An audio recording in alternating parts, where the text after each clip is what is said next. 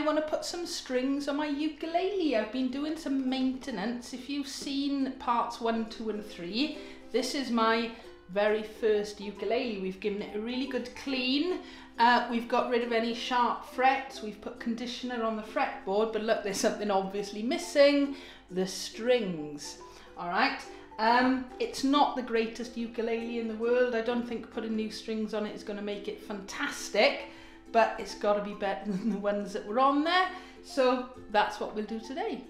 Right, so when you go to change the strings on a ukulele, um, you get a couple of different types of fittings on your uke. So first of all, the bridge, on this one, it's a slotted bridge. In other words, I'm going to tie a knot and it's going to fit into that little hole and slot on the end. Okay, you get pin bridges and you get ones where you've got to tie loops and things as well. But this is a slotted bridge um, and these are what I'd call normal tuners, right? You also get slotted headstocks as well. A little while ago, I bought some strings to do uh, this job and I bought some Ernie Ball ukulele strings and they come with easy install ball, a little bead on the end of the strings. Um, now, when I unpacked them, to have a little look, um, this is what I discovered. There we go, this is what I mean. So it's black string, and then on the very end you get that little bead okay and that then in theory slots like so into your ukulele bridge however what I discovered very quickly was that that ball end or the bead doesn't fit into the hole here so I could solve that easily enough I cut the bead off and tie the knot like you're supposed to do. But it sort of defeats the object of these strings.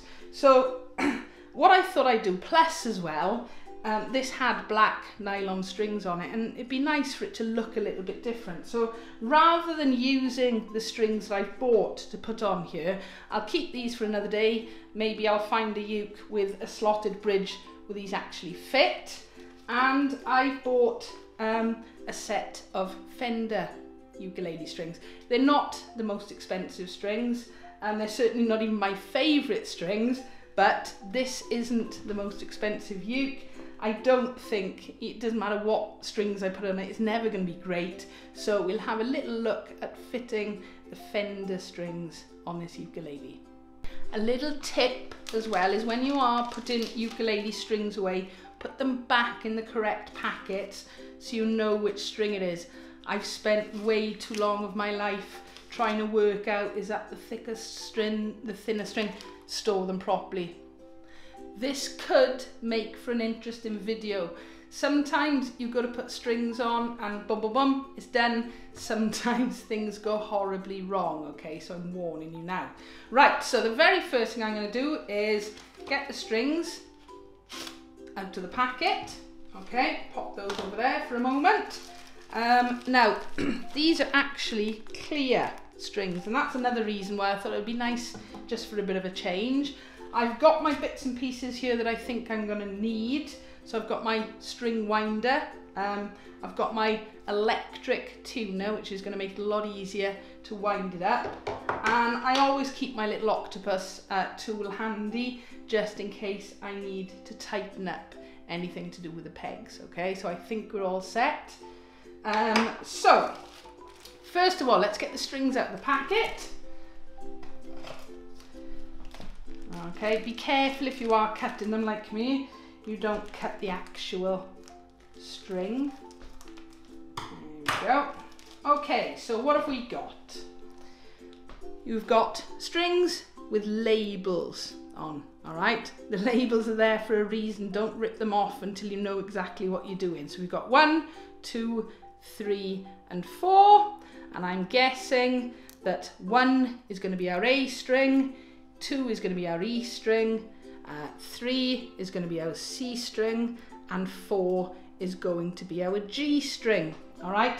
Sometimes, depending on the maker strings, um, A and G can often be um, exactly the same, all right, in terms of size. It doesn't say anything particularly different on here. So yeah, in fact, if I come really close in there, hopefully you can see that. There, it's given me um, the size of the strings, all right? And it's actually saying 0.28 for both the G and the A string. All right, handy to know so that if you go to change just one string and you think, oh, I've run out of an A string, you could put a G string on if it's the same size. Right, so I've got my strings ready. I'm going to start with the G string, so that's the fourth. All right, the very first thing I'm going to do is, and notice now I'm just using one at a time. All right, so in fact I'm going to put one, two and three out of the way, but they've still got their labels on uh, just in case things go wrong. So I'm going to unwind the string like so. And the very first job I want to do is I want to slot this um, into here, but I've got to put a knot in it. All right, now you've got absolutely plenty of string length to play with at the minute. So the way I tend to do this is I'll make a knot. So hopefully you'll see that. I'm gonna double knot it straight away. So I'm gonna do one tie like so, and then do another tie straight away. Okay, so when I go to pull it tight now, all right, you can see it's quite a nice big knot in there. All right, there we go. So now, if you want to be just extra careful, uh, I'm just looking to see where I've put my little pliers a minute. Bear with me. You are, I've got my pliers. Now, you've got to be careful because you don't want to damage the string. If you if you can't pull it tight enough, you can very, very carefully pull it like so, just so you can really pull that knot nice and tight. Okay, and then you're just going to slot the string under there like so and pull it really hard. Now sometimes, like I'm doing at the minute, I'm actually, there we go, giving it a really, really good pull under there now and I will snip that extra bit off at the end just in case something goes wrong. All right, so there we are. That is our string into the slotted bridge with there and I'm pulling it really quite nice and tight. Okay, so I've got that in for a minute. I just want to check I've got plenty of string length. So I'm happy with that now. So what I'm going to do before we do the top peg bit, I'm just going to snip off that excess, that knot isn't going anywhere now. Okay, so very, very carefully snip that like so. All right, put it back where you've just got it from under there and pull it nice and tight. Okay, so we are now going to go up to the tuning peg area. So I'm going to actually just pause the video for a minute so we can zoom in a bit. Right, so I've removed the label off the end of the string. My knot is still uh, nice and secure in the bottom of the bridge. Now you've got to remember which way to put your string through, all right, because of the way you're turning it. So it's going to go up and then I'm just going to slot it back through. Now ukulele string, so all I'm doing at the minute is popping that back through the peg and pulling it. Alright, so hopefully get it so I don't knot it around. Hang on. There we go. Okay, now then. There's an awful lot of string left here at the minute, alright? So I don't need all of that. So I, I'm, I'm gonna, we need to have tension on here. So what I'm gonna do is I'm actually going to cut a lot of this string off here now. Not all of it, I can snip it again later. All right, so I'm just going to give myself a good little bit of winding tension but there. I'm going to cut the string with plenty left to wind on it. All right, like so. And then my beautiful Jowoom Smart Tuner. Turn that on. I want to tune up, so I'm actually Gonna swap hands. I wanna try and keep this as straight as possible. So here we go. This is where things go wrong. Okay. So we can start to see now the string, there we are, is pulling around the peg. Let me just, right, okay, that's all right. There we are, that's going on nice and straight. I'm not going to do all the way up with uh, this tuner for now because I don't want to snap it. So, all right, I'm just going to leave it like that for a minute um, and then we'll do a better tune shortly. Right, so I've put the smart tuner down for a minute. I'm actually going to go by hand because the last thing I want to do is snap a new string. All right, I'm just going to grab, in fact, I'm not even going to grab the tuner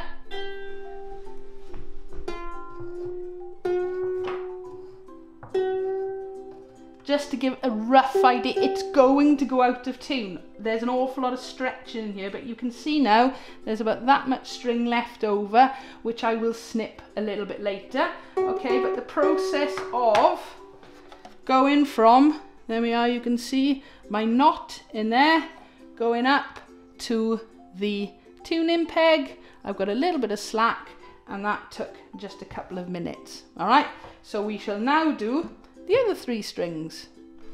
Right, so I've just tied uh, my knot for my C string. Um, because it's a thicker string, I'm just going to tie the one. Okay, so we'll slot that now into the bridge to start with um, and then attach to the tuning peg. So here we go. Alright, so I'm being quite firm Right, there isn't a huge amount of room. In fact, this string looks a bit thicker in gauge than the other one, so I'm having to really be quite forceful. In fact, what I'm going to do right now, before I do any more, is take it out and cut that end bit off, because otherwise I don't think I'll be able to get in there with the scissors. So I'm just going to give it one last little tug to make sure that it's tight enough, okay? There we go, that's really nice and tight. Snip off the excess, like so. And keep everything crossed. Okay, so I'm just going to slot that in there. There's not a lot of room, but it's in, okay? And then we'll do the same as before. All right, I'm going to cut off some of this slack. In fact, the first thing I can do is remove that label. Okay, so like the other string, just checking, yeah, that's still down in the slotted bridge. I'm going to pull it and give myself a little bit of slack uh, to be able to turn it up. Okay, so I would have thought that's probably enough. Right, so I'm going to do exactly like I did before. Where's my tuner? Turn that on. I made it sure I've got the string going the right way. I'm making sure that it is out of the way of the other peg. And let's see what happens. We're going up. There so I'm just getting it to a point where it's on. There we go. That'll be a bit neater now when it goes on.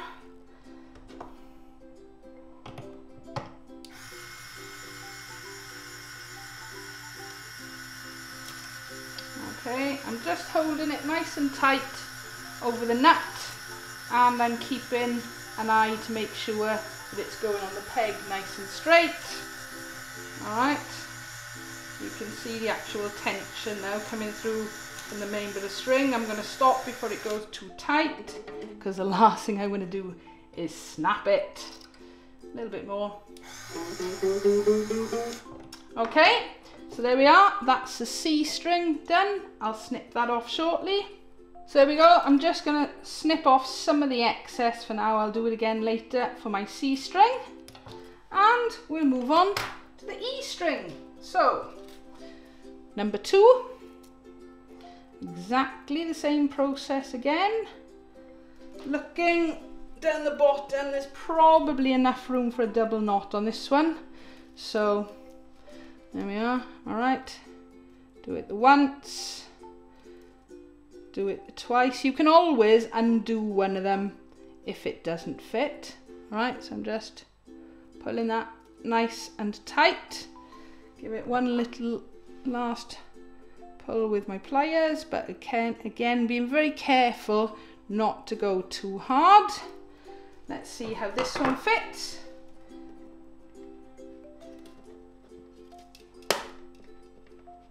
Yeah, in fact, this one's the same as a C string. I'm actually going to undo one of the knots on here. There is no need for it.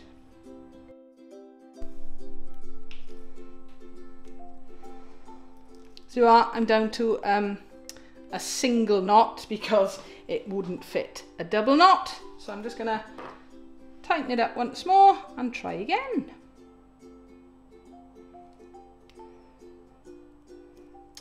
Okay, so there's my single knot. Pop it in to make sure it all fits. Yes, it fits much better this time. So I'll just snip off the excess right now. I'm just going to give it one more tighten. There we go. So snip the excess off. Pop it in the bottom. Now, if you really, if you make a mistake at this point, it's not the end of the world because you've seen I'm cutting off a fair bit the other end. So if you do end up having to tie another knot, I'm just helping that and get in there a little bit. Right, so my E string, my uh, end is all nice and tight down the bridge. This again, it's like uh, the G string, it's very long, so I'm actually straight away going to cut off quite a bit of this because otherwise you end up with just too much string going round uh, the string post. All right, so I'll pop it through the once, like so. All right, now I, I need a bit of slack in here. I need some of it to go around the post. So we go like that.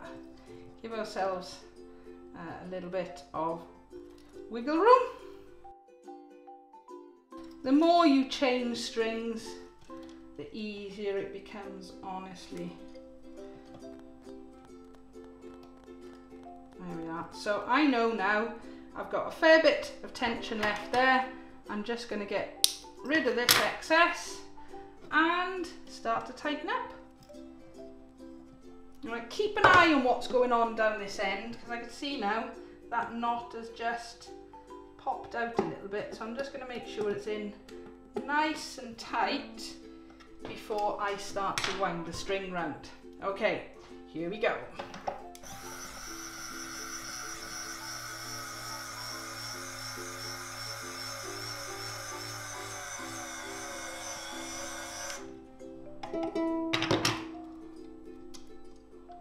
Okay, let's have a little look.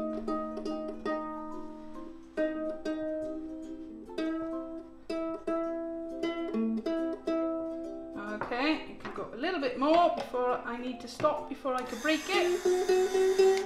Okay, so that's the first three strings done. Our last string to put on is our A string, which is labelled first. Okay, now um, like the G string, it is very long, so I know I'm going to have to cut this, but I'm just going to uh, be double safe and do a double knot in this one because the gauge of it is so much thinner. So there's my first knot. Hang on, turn that round. First knot, second knot. All right, so I'm just twisting it in on itself again. Okay, there we go. So there's my new knot. Give it a little tighten with my pliers. I'm always careful not to cut if I can help it. It does happen, you do pull it too tight sometimes. All right, so that's pulled nice and taut. Let's check it fits.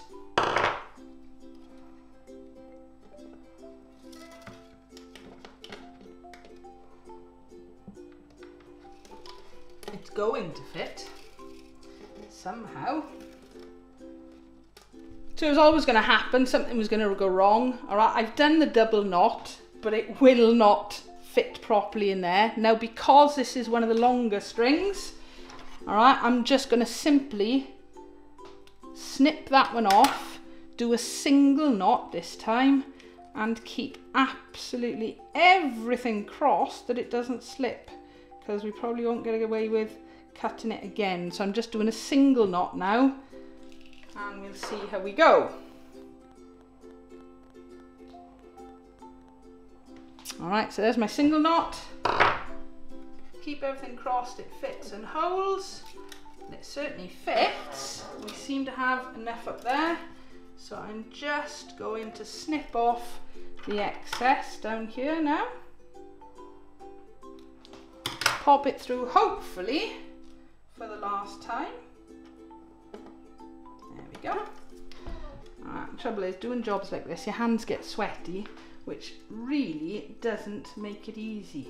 All right, so I can take off my last label because I know this has got to be the right one because the other strings are already on there.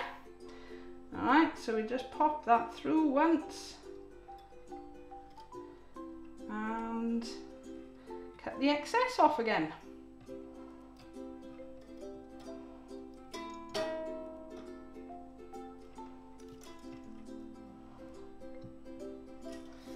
So I've just last double check that knot is now in there nice and neatly.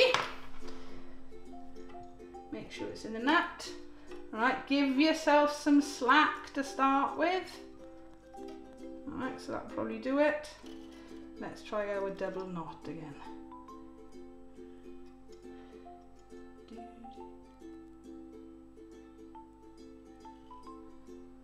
Okay, so just popping that through one more time. There we go. And we can now, hopefully, tighten up again.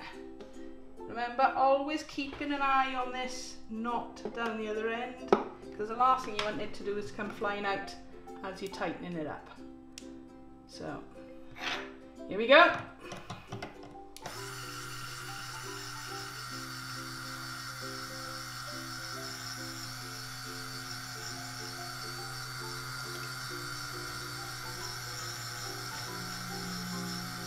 These tuners are great if you've got a lot of ukuleles to tune and if you're doing jobs like this.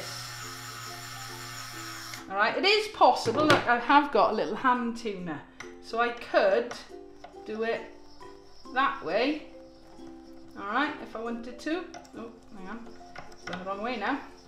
Alright, so it, you can do it like that, the good old fashioned method. It's an awful lot tuning it all by hand, all right, but these devices. Okay, so there we go. Four strings. We're in a bit of a mess. We'll tidy that up in a moment and try and get a little bit closer to tuning, but it certainly looks different with the uh, clear nylon. I've got sweaty fingers all over my nice clean ukulele now, but there we are. You can see the knots in the bottom and the strings on the top. Okay, so the last little job is just to tidy up all these little bits. Now, the uh, A string that I've just put on is still by far the longest. Get rid of the bits of rubbish. So I'm just going to snip that one down for a minute. Now, I do tend to leave them like this at least for a few hours till the strings have started to settle down a bit. They go out of tune a lot, all right? When you first put new strings on, I'm going to be tuning this one now for a good few days. Um, let's just see how close we are to it at the minute. So, ooh, let me turn that one off because it goes a bit nuts otherwise. Right, I'm not using this for fine tuning on new strings. They go slack so so quickly. So.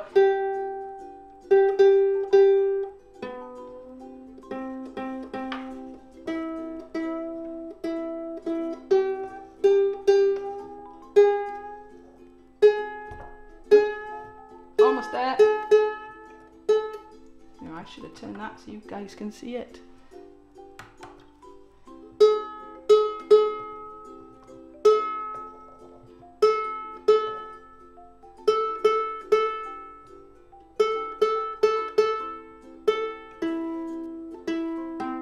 Now, quite often, I will leave them a little bit sharp to start with because they're going to stretch down anyway. But there we are. An out of tune, but with new strings ukulele. I can't leave it like that.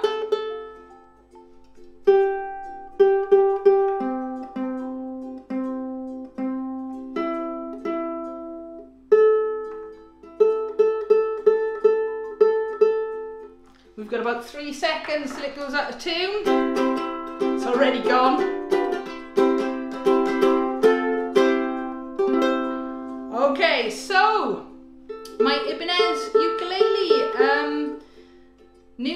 On it, um, and it looks different because I've gone from black nylons. I'm not going to pretend this is not going to become the best ukulele in the world, um, but maybe I'll play it a little bit more now. It's a bit cleaner, it doesn't have horrible sharp frets, um, certainly smells a bit better and the new strings are on there. Hopefully that's given you a little bit of confidence um, to change your own strings. What's the worst that's going to happen is you might snap some strings and believe you me, I have snapped many ukulele strings. Okay, so as always, if you've got a comment or a question, drop it below, give us a like. Uh, if you've enjoyed the video, don't forget to subscribe um, so you don't miss out on new videos. Thank you for watching.